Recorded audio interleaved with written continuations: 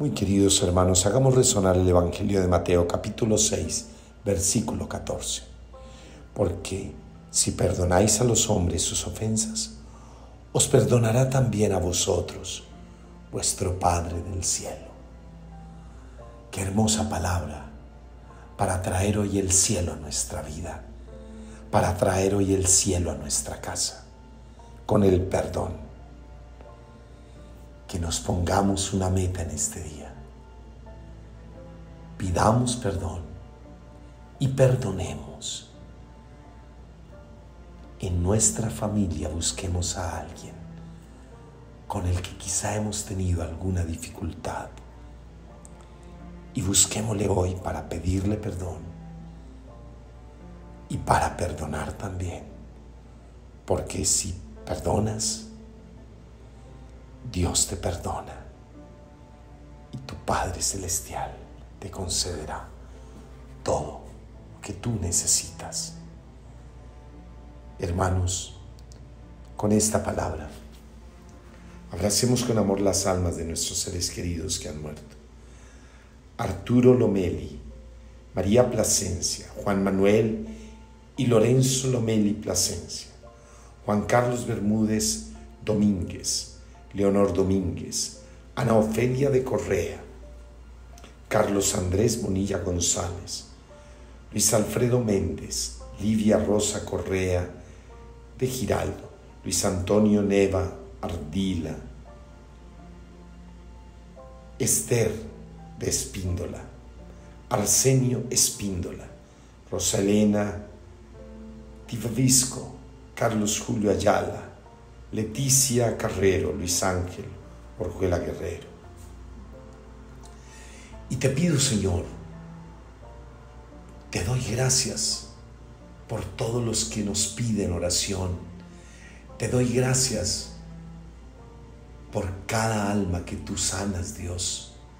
Los cuerpos que son sanados, las almas que son liberadas de la opresión del infierno y todos los que reciben hoy la provisión porque pasan necesidad. Coloco en tu altar a Gabriel Alexander Gandica. Por nuestro país, Colombia, intención de Javier Bernal. David Camilo Guzmán por la salud. Lidia Ortiz Pardo. Ángela María Sánchez. Juan Sánchez. Y Alcira. Familia Cortés Ramírez. Nubia y Janet Cortés Ramírez. Acción de gracias al Espíritu Santo. Intención de Gladys Espíndola Elsa María Lazo, Rodrigo Rangel Vega y familia, Cristóbal y su familia. En México bendícelos Dios y la Pascua de su Hijo al cielo. Y te doy gracias, Señor, por un año más de vida que le concedes a Juan Andrés García Amado. Felices 16 años en Bucaramanga. Benjamín Bautista, felicidades. María José Martés y su hijo Santiago Jaramillo, felicidades. Tilcia Cote, en sus 84 años, felicidades. Y con estos sentimientos de gratitud con el Señor, iniciemos esta celebración que preside nuestro querido Padre Alex. Dios está aquí, qué hermoso es, Él lo prometió donde hay dos o tres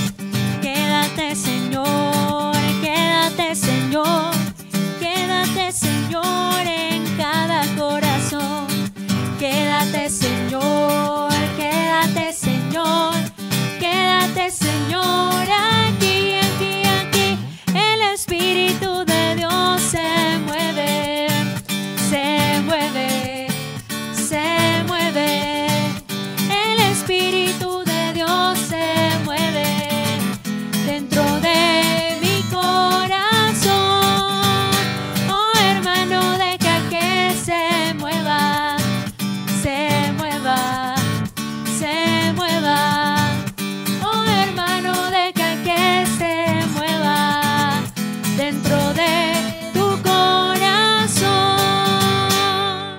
El Señor a los hambrientos los colmó de bienes, yacían en oscuridad y tinieblas, cautivos de hierros y miserias. En el nombre del Padre, del Hijo y del Espíritu Santo. Amén. La gracia de nuestro Señor Jesucristo, el amor de Dios nuestro Padre y la comunión del Espíritu Santo estén siempre con todos ustedes y con tu Espíritu. Mis hermanos y mis hermanas en Cristo Jesús, sean todos ustedes bienvenidos al encuentro con el Señor a través de la Santa Eucaristía. Hoy mi familia querida, la iglesia se regocija en la vida de sus santos y celebramos a San Pedro Claver, este gran santo que donó su vida sirviendo a aquellos que padecían, que estaban en una vida miserable, se dedicó a servirles por toda la vida. Por eso hoy le pedimos a San Pedro Claver que nos ayude a ser generosos y a entregar nuestra vida al servicio de aquellos que lo necesitan. Pidamos perdón de todo corazón y mientras pedimos perdón, oremos con toda nuestra alma por todos aquellos por los que se ofrece esta Santa Eucaristía, por todas las benditas almas que partieron a la eternidad, por sus familias para que encuentren consuelo y paz. Oramos por los matrimonios, oramos por los jóvenes y los niños, oramos por los abuelitos, por los ancianitos, oramos también por todos aquellos que nos piden oración, por los que no tienen trabajo, por los que están pasando por dificultades, por los enfermos y de una manera especial dando gracias a Dios por aquellos que están de cumpleaños o que hoy cumplen aniversario matrimonial. Mientras oramos por ellos, reconozcamos que somos pecadores.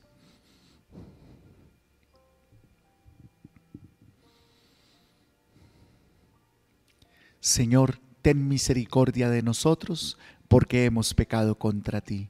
Muéstranos, Señor, tu misericordia y danos tu salvación. Y que el Señor Todopoderoso y Eterno tenga piedad y misericordia de todos nosotros, nos perdone el Señor nuestros muchos pecados y nos lleve a la vida eterna. Amén. Señor, ten piedad,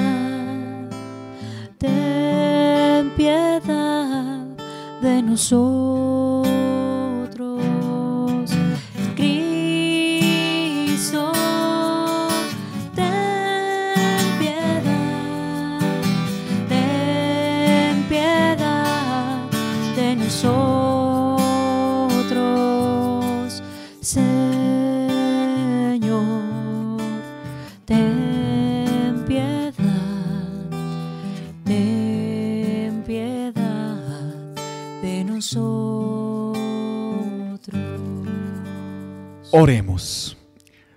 Dios que hiciste a San Pedro Claver, esclavo de los esclavos, y lo fortaleciste para que los sirviera con amor y paciencia admirables, concédenos por su intercesión que busquemos lo que corresponde a Jesucristo y que amemos al prójimo con obras y de verdad. Por nuestro Señor Jesucristo, tu Hijo, que vive y reina contigo en la unidad del Espíritu Santo y es Dios por los siglos de los siglos. Amén. Y ahora les invito para que escuchemos con atención la palabra del Señor. Lectura de la primera carta del apóstol San Pablo a los Corintios. Hermanos, el hecho de predicar no es para mí un motivo de orgullo. No tengo más remedio y ay de mí si no anuncio el Evangelio. Si yo lo hiciera por mi propio gusto, eso mismo sería mi paga.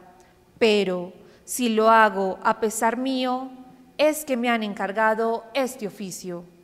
Entonces, ¿cuál es la paga?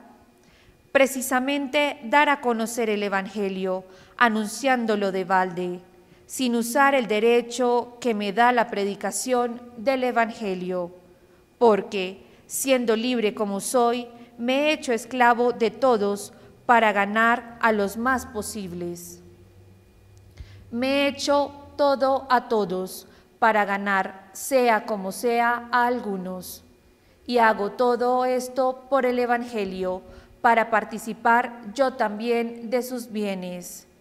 Ya sabéis que en el estadio todos los corredores cubren la carrera, aunque uno solo se lleva el premio. Corred así para ganar. Pero un atleta se impone toda clase de privaciones. Ellos, para ganar una corona que se marchita, nosotros, en cambio, una que no se marchita. Por eso corro yo, pero no al azar, boxeo, pero no contra el aire.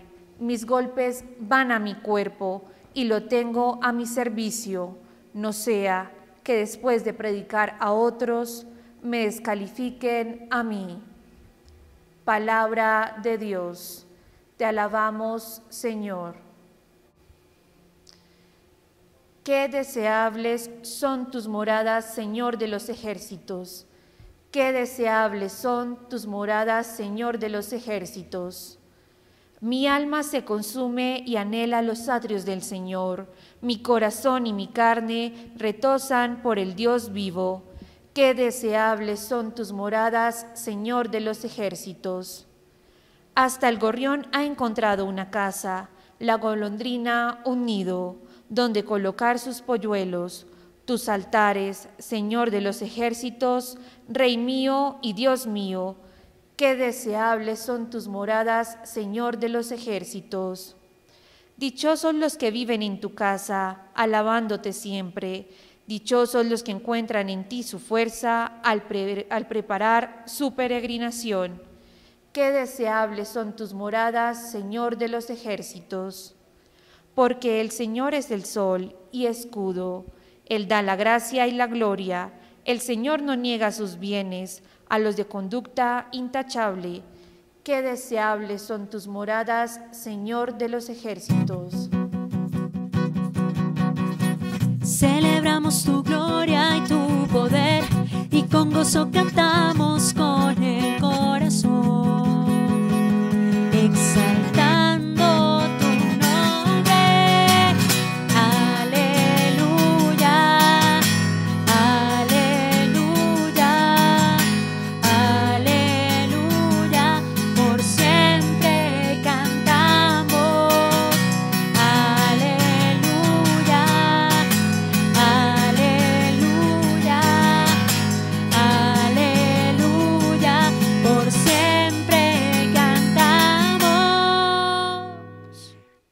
Esté con todos ustedes y con tu espíritu. Lectura del Santo Evangelio según San Lucas. Gloria a ti, Señor. En aquel tiempo le dijo Jesús a los discípulos una parábola. ¿Acaso puede un ciego guiar a otro ciego? ¿No caerán los dos en el hoyo? Un discípulo no es más que su maestro si bien cuando termine su aprendizaje será como su maestro. ¿Por qué te fijas en la mota que tiene tu hermano en el ojo y no reparas en la viga que llevas en el tuyo? ¿Cómo puedes decirle a tu hermano, hermano, déjame que te saque la mota del ojo sin fijarte en la viga que llevas en el tuyo?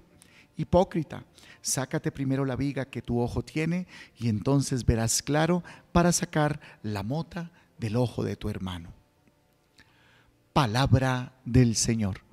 Gloria a ti, Señor Jesús.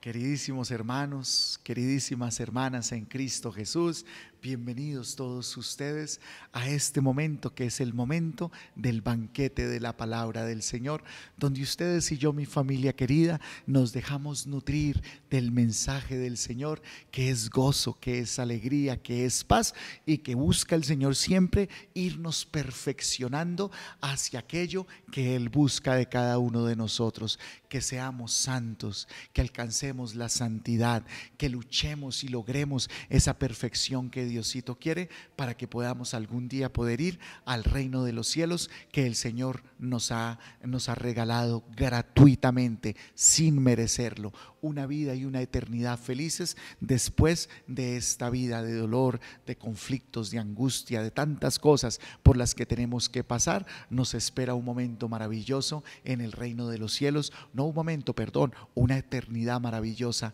después de que partamos de este mundo. Y esa perfección la vamos logrando en la medida en que vamos escuchando la palabra de Dios, le prestamos atención y empezamos a poner por obra aquello que Diosito quiere y busca de cada uno de nosotros. Hoy mi familia querida, como ustedes pueden acabar de escuchar las lecturas que tenemos, pero nos centramos un poco en el Evangelio de hoy, nos va a decir el Señor, amigos, hermanos, hijos, hijas, vamos a empezar un camino perfecto, vamos a empezar a acercarnos a Dios como Dios quiere que Él, que nosotros nos acerquemos a Él. Y una de las cosas que Dios quiere de nosotros es que cambiemos nuestra forma de ver a las otras personas.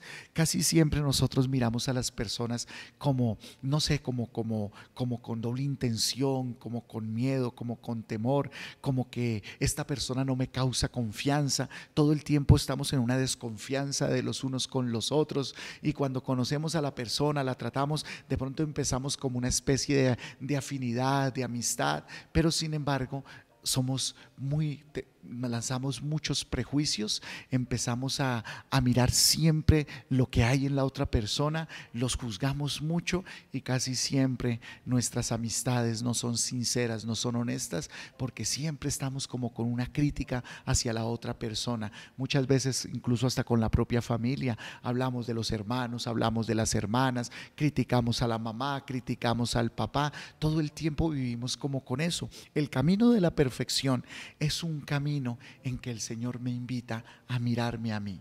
Antes de que yo abra mi boca para decir algo en contra de alguien o para decírselo a una persona, me tengo que mirar a mí. Y cuando uno se mira a uno mismo y se da cuenta de todas las imperfecciones que uno tiene, uno no tendría ni siquiera por qué abrir la boca porque sabe que uno muchas veces lo que ven los otros, lo que critica de los otros, lo que habla de los otros, es lo que muchas veces lo tiene uno y muchas veces de una manera mucho más exagerada. Por eso mi familia querida, el Señor es muy contundente. Mire lo que dice, ¿por qué te fijas en la mota que tiene tu hermano en el ojo? ¿Qué es una mota? Todos sabemos que es una motica. De pronto las personas que están en otros, en otros países de pronto no entienden una mota. Una motica es como una, un pedacito así. Eh, le decimos a un pedacito de esa telita que está por aquí que sobra y usted arranca ese pedacito, es como una motica. Así los pedacitos de telita. A eso le podemos llamar una motica. Una motica es una cosita muy chiquitica. Y el Señor dice, ¿por qué le miras la motica?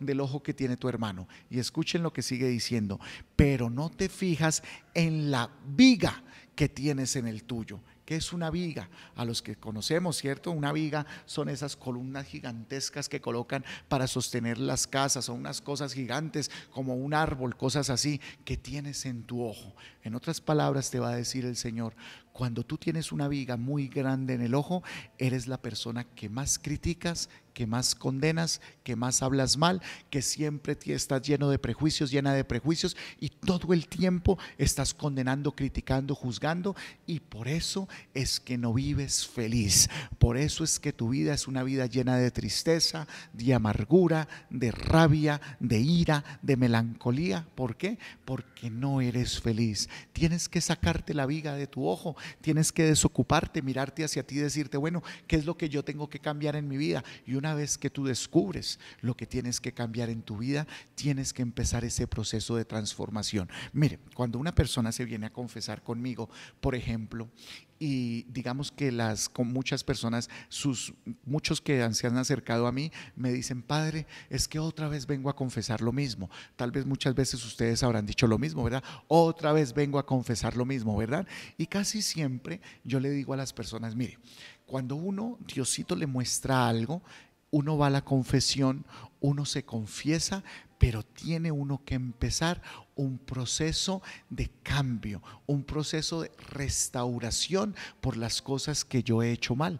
Porque si yo siempre lo hago y vuelvo y lo hago y vuelvo y lo hago y vuelvo y lo hago, significa que no estoy teniendo ese proceso de restablecer mi ser. Yo me confieso, muchas personas se pueden confesar, como yo les había dicho antes, simplemente para poder comulgar simplemente es que no me siento bien, simplemente es que no tengo paz. Entonces me confieso, recupero mi paz, recupero mi tranquilidad, eh, puedo ir a comulgar, pero nunca con el sentido propio de la confesión. El sentido propio de uno confesarse es decirle, Señor, te he ofendido y propongo firmemente no volverlo a hacer. Entonces cuando uno hace eso, se empieza uno a mirar hacia uno mismo.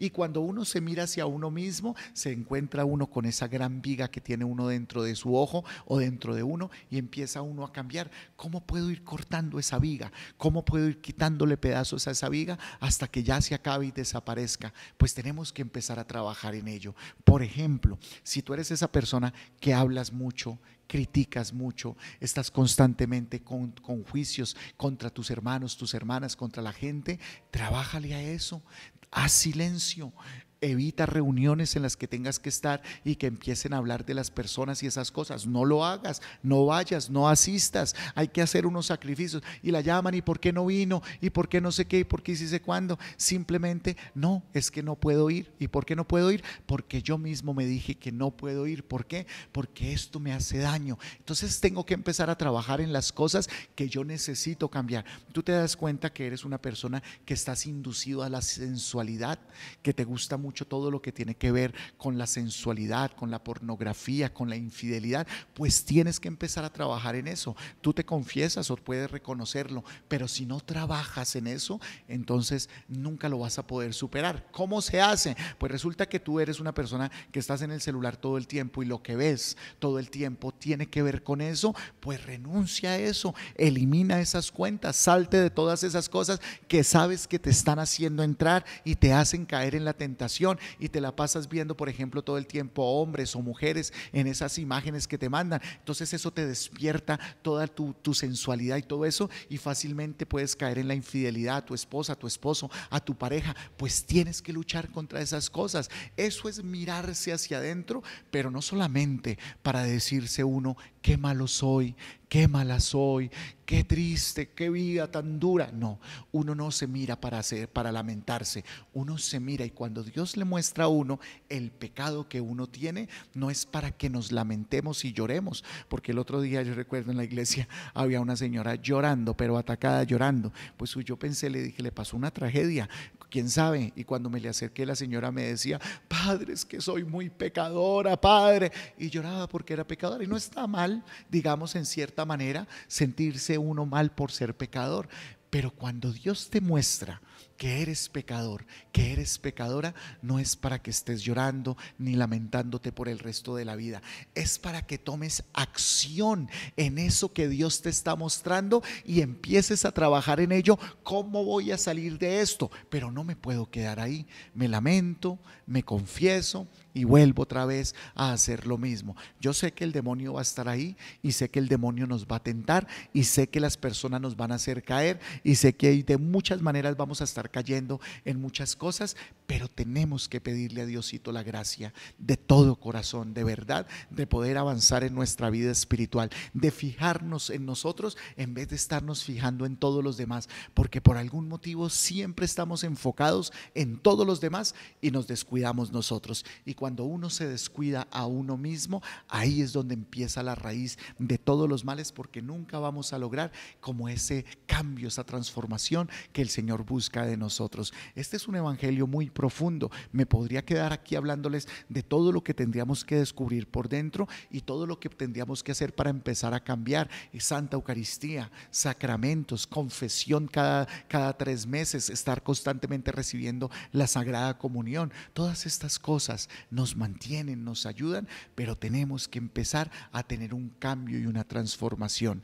Yo les compartía hace un tiempo que en los Estados Unidos hubo un caso de cinco o seis chicas que desaparecieron, niñas que desaparecieron, fueron raptadas por una persona, por unas personas, y las niñas desaparecieron. Eran como seis niñas de 17, 16, niñas, niñas, niñas, y desaparecieron todas estas niñas. Y de pronto empezó a pasar el tiempo y todas las familias desesperadas, luchando por encontrarlas, iban a la iglesia local y en la iglesia hacían vigilias, prendían velitas y oraban para que las niñas aparecieran. Y adivinen que la persona que las tenía secuestradas abusaba de ellas, las maltrataba, las golpeaba, todo lo que ustedes, lo peor que se puedan imaginar en esta vida, les hacía ese hombre que las tenía secuestradas. Y adivinen que este hombre estaba sentado en la iglesia con una velita prendida para que las niñas aparecieran. Imagínense esto. Entonces, ¿qué pasa con lo que, está, con lo que estamos diciendo? Muchas veces, cuando no hay un cambio total en mi vida, puedo estar sentado en la iglesia, sentada en la iglesia y viviendo una vida completamente ajena a lo que Diosito quiere de mí y haciendo daño, pero horriblemente, infieles, maltratos, todas estas cosas que hacen tanto daño, habladuría, chismes, calumnias, brujería y todo esto y podemos estar sentados en la iglesia. Por eso el Señor quiere cuando te dice, mírate la viga que tienes aquí adentro, Padre Alex, y todos los que estamos aquí, míratela. No, no para que yo me lamente y me ponga a llorar por lo malo o lo, mala, los malos, lo malas que somos, sino para que empecemos a, a cambiar, a restablecer nuestro ser. Si me doy cuenta que me estoy desviando por este camino, retorno otra vez y empiezo con mi oración, con mi constancia. Pidámosle a Diosito nuestro Señor esa gracia. Una gracia, mi familia querida, que vivió el santo que celebramos hoy. Hoy celebramos a San Pedro Claver. Él, San Pedro Claver, le llaman el esclavo de los esclavos. Así se colocó él mismo el nombre. El, esclavo de los esclavos, o digámoslo de otra manera, el apóstol de los esclavos. San Pedro Claver nació en el año 1580 en España y desde España San Pedro Claver nació de una familia muy, muy creyente, pero muy, muy pobres. Cuenta la historia que tuvieron varios hijos y solo sobrevivieron dos por la pobreza tan tremenda en la que vivían y uno de los dos fue una hermanita y San Pedro Claver lograron sobrevivir de los seis o siete, ocho hermanos que tuvieron. Cuentan que el papá de San Pedro Claver ni siquiera sabía escribir su nombre porque nunca pudieron asistir, pero era un hombre muy trabajador, muy creyente, muy entregado y desde muy pequeñito le enseñaron a San Pedro. San Pedro creció amando a Dios con todo su corazón, decidió volverse sacerdote, entró a la compañía de Jesús, a los padres jesuitas, allí empezó a formarse y cuando estaba allí, por gracia de Dios, conoció a otro gran santo jesuita, San Alfonso, y San Alfonso notó todo lo que había en el corazón de Pedro y lo empezó a animar para que se fuera a las misiones. Le dijo, vete a las misiones, ve. Y San Pedro Claver, que estaba lleno del amor de Dios, decidió aceptar las misiones. Y adivinen qué, en dónde terminó San Pedro Claver, para que todos los que están allá y de pronto no lo saben, San Pedro Claver terminó aquí en Colombia. Llegó aquí a Colombia San Pedro Claver y resulta que aquí estudió la teología, aquí siguió todos sus estudios y se ordenó como sacerdote por allá en el año 1616. Por esa misma época hemos de recordar que ya habían, habían conquistado, pues aquí, ¿no? Todas eran tierras nuevas conquistadas por los españoles y resulta que en Cartagena, en donde llegó San Pedro Claver, se dio cuenta que empezó a ocurrir algo terrible. El rey de España mandó a que esclavizaran a los negros que eran traídos pues de todos estos lugares de África, del Congo y todos estos lugares y llegaban aquí los esclavizaban terriblemente, los ponían a aguantar hambre, les, daba, los, les pegaban todas estas cosas. Y cuando Pedro se dio cuenta de toda esta situación, se encargó de ayudarles muchísimo. Cuentan que San Pedro Claver bautizó escuchen esto, bautizó en sus años como sacerdote, si se ordenó en 1616 como sacerdote y murió en el año 1654, estamos hablando del 16 al 54, 26, 36, 46, 56, 38 años, en 38 años bautizó más de 300 mil personas de estos negritos que no, que, no, pues no eran creyentes, que no eran, que no eran católicos, los evangelizaba y los iba bautizando. Más de 300 mil. Su vida fue de una misión incalculable. Los cuidaba, les limpiaba las heridas, les conseguía comida, les hablaba del amor de Dios, les decía tranquilos que hay alguien que los ama y que los va a liberar, se llama Jesús. Y todos ellos empezaron a amarlo tanto que dicen que siempre estaba muy harapiento, sucio porque corría de un lado a otro tratando de ayudarles. Se hizo enemigo de todo el mundo, nadie lo quería. Las señoras de la alta sociedad, de que venían de España, que estaban asentadas en Cartagena y todas estas cosas, la misma iglesia, muchos lo rechazaron porque todo lo que hacía él iba en contra en contra de lo que estas personas estaban haciendo.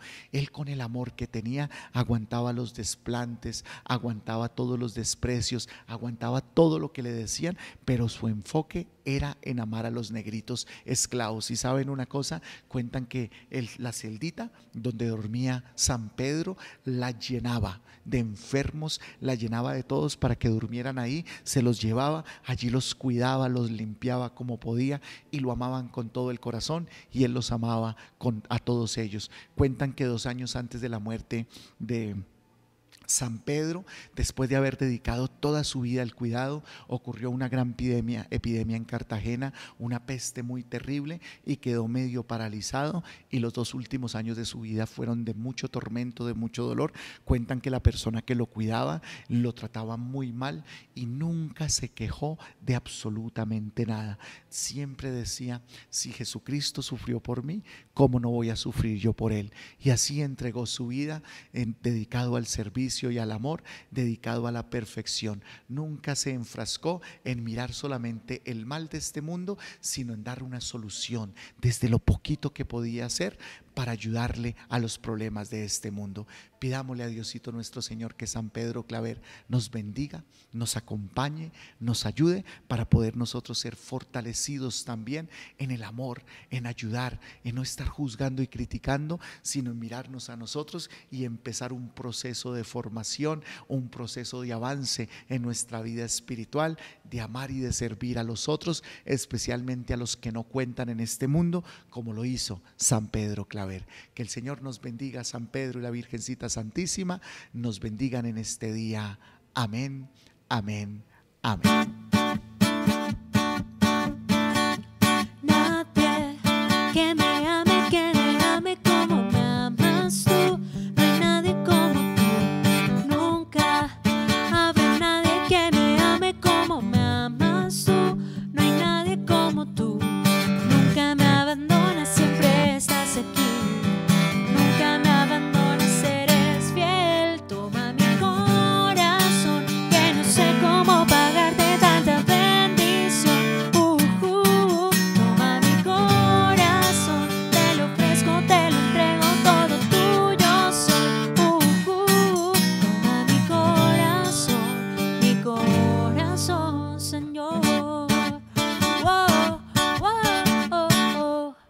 Bendito sea el Señor Dios del universo por este pan, fruto de la tierra y del trabajo del hombre que recibimos de tu generosidad y ahora te presentamos, Él será para nosotros el pan de vida.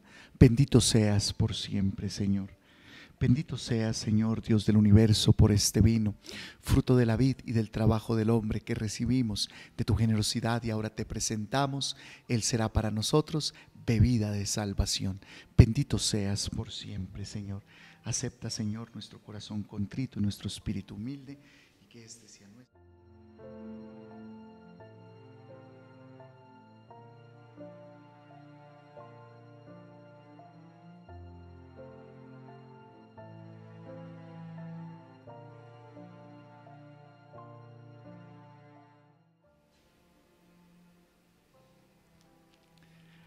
Oremos, queridos hermanos y queridas hermanas, para que este sacrificio que es mío y también que es de todos ustedes sea agradable a Dios Padre Todopoderoso. El Señor reciba de tus manos este santo sacrificio para alabanza y gloria de su nombre, para nuestro bien y el de toda su santa iglesia.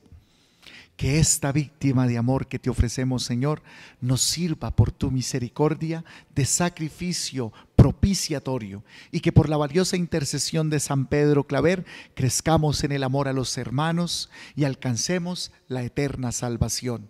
Por Jesucristo nuestro Señor. Amén. El Señor esté con todos ustedes y con tu espíritu. Levantemos el corazón lo tenemos levantado hacia el Señor. Demos gracias al Señor nuestro Dios. Es justo y necesario. En verdad, es justo y necesario. Es nuestro deber y salvación darte gracias siempre y en todo lugar, Señor Padre Santo, Dios Todopoderoso y Eterno, por Jesucristo tu Hijo, porque mediante el testimonio admirable de tus santos, fecundas sin cesar a tu iglesia con vitalidad siempre nueva y nos das pruebas evidentes de tu amor Ellos también nos estimulan con su insigne ejemplo y nos ayudan siempre con su piadosa intercesión para que colaboremos en el plan divino de la salvación. Por eso nosotros, Señor, con los ángeles y con todos los santos, cantamos sin cesar el himno de su gloria. Santo, santo, santo es el Señor. Santo, santo, santo es el Señor. Su gloria. Llenos están el cielo y la tierra de su gloria. Santo, santo, santo es el Señor. Santo, santo, santo es el Señor. Bendito es el que viene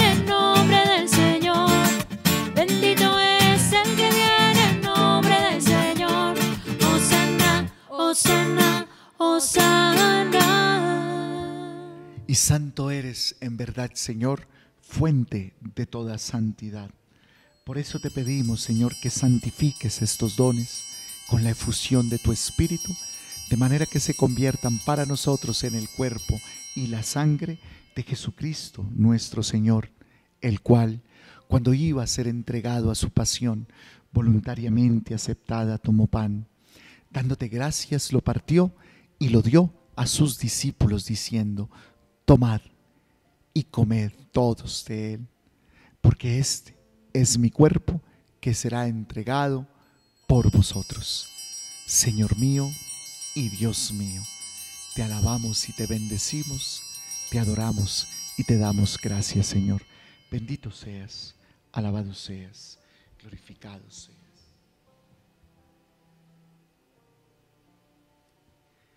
Y del mismo modo, acabada la cena, tomó el cáliz. Dándote gracias de nuevo, lo pasó a sus discípulos, diciendo, tomad y bebed todos de él, porque este es el cáliz de mi sangre, sangre de la alianza nueva y eterna que será derramada por ustedes y por muchos para el perdón de los pecados. Hagan esto en conmemoración mía. Señor mío y Dios mío, te alabamos y te bendecimos, te adoramos y te damos gracias, Señor. Bendito seas, alabado seas.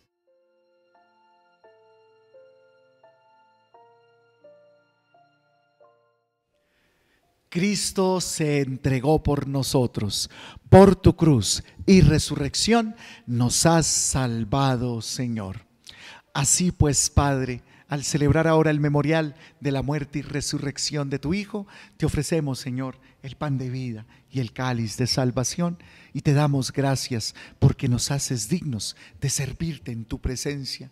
Te pedimos humildemente que el Espíritu Santo congregue en la unidad a cuantos participamos del cuerpo y la sangre de Cristo. Acuérdate, Señor, de tu iglesia extendida por toda la tierra, con el Papa Francisco, con nuestro obispo Juan Vicente y todos los pastores que cuidan de tu pueblo, llévala a su perfección por la caridad. Recuerda, Señor, a nuestros hermanos que partieron a la vida eterna. Admítelos, Señor, a contemplar la luz de tu rostro especialmente por todos los que oramos en esta Santa Eucaristía.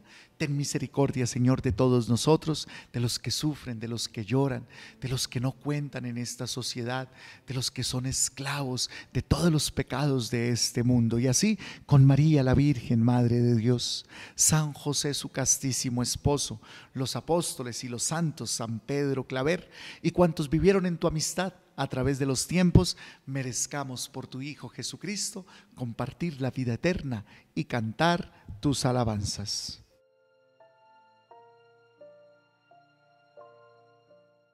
Por Cristo, con Él y en Él.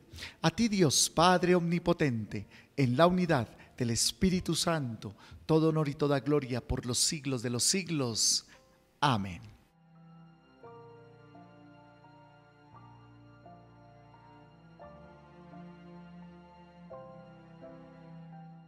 Y así como el Señor quiere que trabajemos en nosotros, en nuestro pecado, que lo transformemos, que empecemos a luchar por cambiar esas cosas que a veces nos hacen tanto daño, pero que seguimos ahí con ellas, oremos como nuestro Padre nos enseñó para que logremos esa gracia. Digamos juntos, Padre nuestro que estás en el cielo, santificado sea tu nombre venga a nosotros tu reino.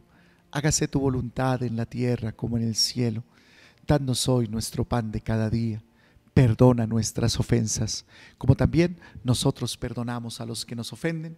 No nos dejes caer en la tentación y líbranos del mal. Líbranos de todos los males, Señor y concédenos la paz en nuestros días, para que ayudados por tu misericordia vivamos siempre libres de pecado y protegidos de toda perturbación, mientras juntos esperamos la gloriosa venida de nuestro Salvador Jesucristo. Tuyo es el reino, tuyo el poder y la gloria por siempre, Señor. Señor Jesucristo, que dijiste a tus apóstoles, la paz les dejo, mi paz les doy.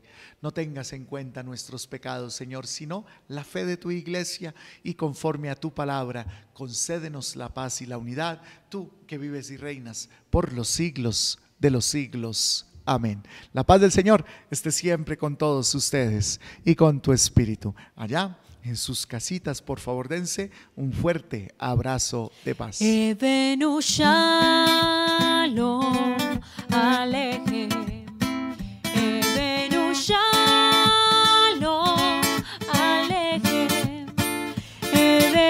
Shalom Alejem.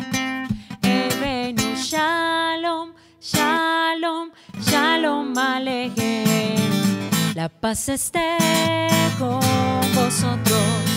La paz esté con vosotros. La paz esté con vosotros. Que con vosotros siempre, siempre esté la paz. Queridos hermanos y hermanas, aquí está Jesucristo nuestro Señor, el Cordero de Dios que quita el pecado del mundo. Dichosos ustedes y yo que hemos sido invitados a la cena del Señor. Señor, yo no soy digno de que entres en mi casa, pero una palabra tuya bastará para sanarme y que el cuerpo y la sangre de nuestro Señor Jesucristo nos guarden nuestras almas para la vida eterna. Amén.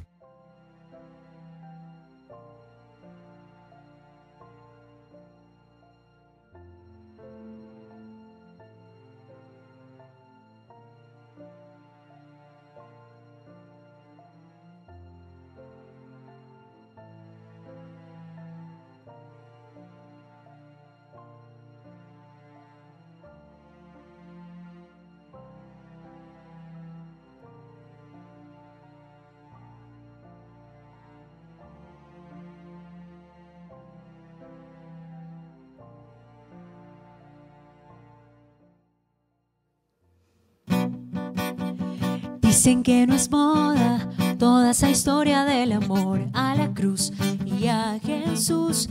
Dicen que no entienden a esa gente que es feliz así por él y para ti. Y que no comprenden que la oración es el motor que a mí me impulsa a seguir. Que soy un bicho raro porque no remo para el mismo lado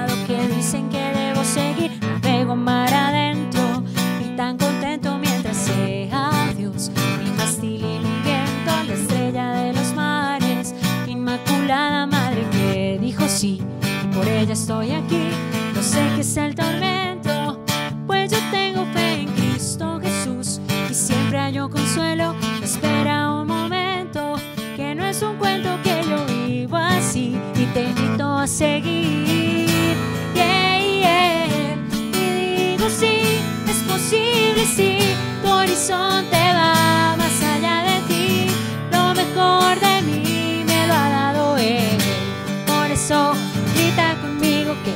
Jesús es tu amigo, que su amor tu camino. No dudes y síguele. Entiendo que no entiendas quién tiene la razón si hablamos de amor. Hablamos de lo mismo, dicen, dicen, digo. Yo solo veo un camino al frente, está Dios. Decide por ti mismo, son tantas experiencias que prueban su presencia que no hablar de él sería esconderlas. Necesito convencerte que cada cual despierte, pero por amor te invito a conocerle. Y digo sí, es posible sí, tu horizonte va más allá de ti, lo mejor de mí me lo ha dado él. Por eso grita conmigo que Jesús es tu amigo, que somos tu camino hoy. No dudes y síguele.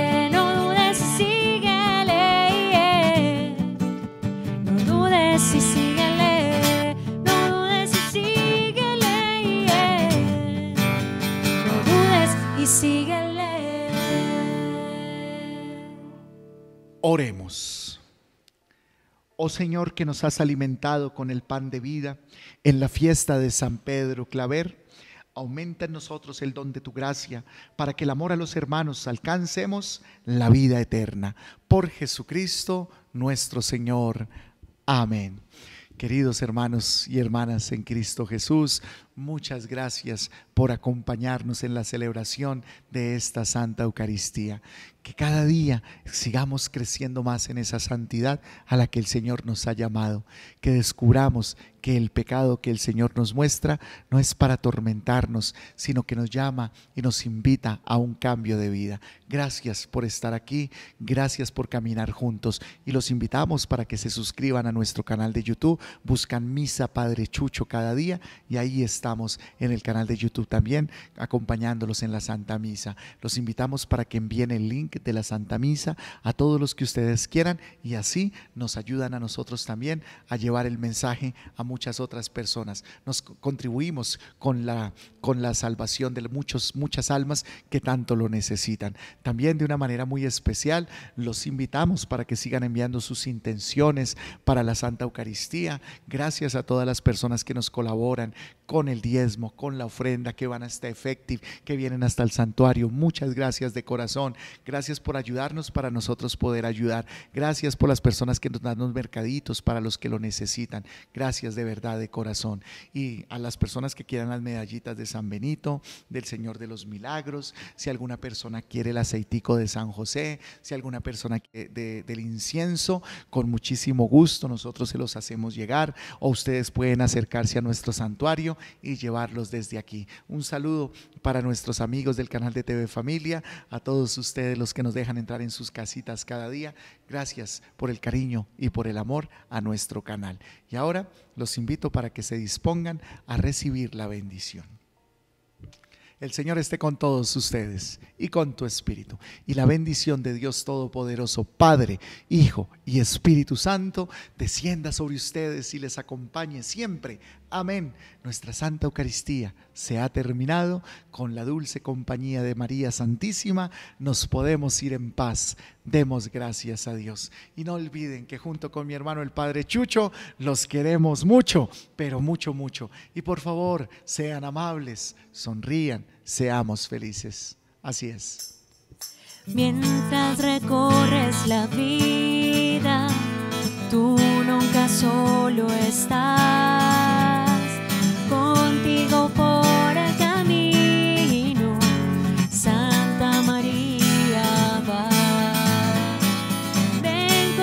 nosotros.